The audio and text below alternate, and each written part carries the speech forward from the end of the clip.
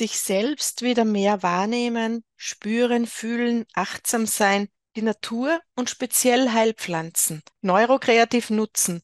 Wie das geht, hier im Video. Die Neurodings-Absolventinnen sind sehr kreativ, neurokreativ und eine von ihnen, Anna Zangerle, hat eigene Zeichenabläufe kreiert, durch die man Pflanzen und ihre Wirkung auf uns mit einbeziehen kann. Es ist ihre große Leidenschaft, die Natur mit all ihren Wesen, Bäumen, Pflanzen und Heilkräutern zu betrachten, zu durchwandern. Und sie ist als Grafikerin natürlich auch mental sehr kreativ. Und diese beiden Leidenschaften bringt sie zusammen im neurokreativen Zeichnen, also das Zeichnen und die Pflanzen. Unter dem Begriff Pflanzenzauberzeichnungen verbindet sie sich mit den Heilpflanzen, beobachtet sie, studiert sie, Sie ist selbst hochsensitiv und entdeckt darin auch Pflanzengeister, bringt das Erlebte zu Papier. Hier ist eine Trilogie entstanden, also drei Zeichnungen zum Thema Natur und Zeichnen. Und als Beispiel hier die Nachtkerzenwurzel. Sie hat sich durch diese Pflanze mit den eigenen Wurzeln beschäftigt, mit der Herkunft, also mit den Ahnen, mit der frühen Geschichte und hat dadurch die Verbindung zu den Vorfahren gestärkt. Ein anderes Bild, das entstanden ist, eine andere Pflanze, nämlich der Farn, hat sie motiviert, eine neurokreative Zeichnung zu machen. Und durch diesen Farn hat sie sich verbunden mit den vielen Facetten der Leichtigkeit. In Arbeit sind auch gerade die heilige Mistel und der alles verbindende Holler, der duftet und blüht. Und so hat alles seine Zeit. Anna nimmt sich auch die Zeit, sie geht mit dem Jahreskreis, mit der Natur, fühlt hinein, spürt hinein und so dauert es mitunter einige Wochen oder Monate, bis ein Bild fertiggestellt ist.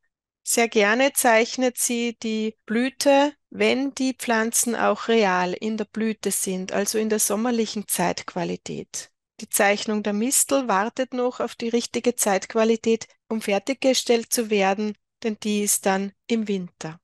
Wie entsteht ein solches Bild oder die Idee dazu? Als erstes fühlt Anna hinein und es entsteht eine Verbindung zu einer bestimmten Pflanze. Sie geht auf die Suche nach dieser Pflanze mittels innerer Reisen, die sie durchführt, also meditativ oder auch beim Naturflanieren oder indem sie die Pflanzen erntet und Hydrolatte herstellt oder Tinkturen. Denn Anna hat eine Ausbildung zur Natur- und Landschaftsvermittlerin und hat auch eine Initiierung als Medizinrockfrau durchlaufen und vertieft ihr Wissen immer wieder, hält sich sehr viel in der Natur auf, ist in Kontakt mit der Natur und dadurch auch mit den Pflanzen und Heilpflanzen. Sie beobachtet, studiert, bedankt sich, skizziert, beachtet und zitiert. Trinkt dazu einen Tee, macht eine Räucherung mit der Pflanze und taucht somit in die Dynamik, in die Farben und die Formen ein und dadurch gelingt der Zugang noch viel feiner.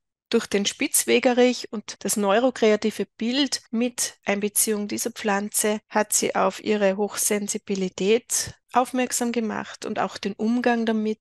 Und indem sie das fertige Bild betrachtet, ist sie mit dieser Qualität in Verbindung und schwingt auch danach noch mit dieser Energie mit. Eine ganz tolle Idee ist es auch aus diesem Bild, das somit entstanden ist, das sehr aufgeladen ist mit dieser Energie, die sie hineingelegt hat, mit der Zeit, die sie mit dieser Entwicklung verbracht hat, ein Schmuckstück anzufertigen aus diesem Bild. Sie hat also die Transformation durchlaufen und sie wollte es nicht nur einfach als Bild aufhängen und Wände schmücken, sondern auch wirklich bei sich tragen in einer besonders harmonischen Form. Und so hat sie die Bilder abfotografiert, eingescannt hat viel Zeit mit dem Ausschneiden der kleinen Bilder verbracht und hat Schmuckstücke angefertigt aus diesen Zeichnungen, die sie auf Märkten oder Ausstellungen anbietet. Und die Käufer des Schmucks schätzen sehr die Heilenergie dieser Bilder, die ja diese transformierten Themen darstellen. Andere mögen einfach die Buntheit oder die Einzigartigkeit dieser Zeichnungen. Es ist ja jede Zeichnung ein Unikat. Und wenn du dich mehr für dieses Thema interessierst, nimm gerne Kontakt auf mit Anna. Die Kontaktdaten findest du unterhalb des Videos oder besuche sie beim nächsten Kunst- und Handwerksmarkt. Hol dir gerne weitere Anregungen zum neurokreativen Tun über die Videos, die ich dir hier verlinke. Viel Vergnügen, mach dein Ding. Silvia Grübel von Neurodings.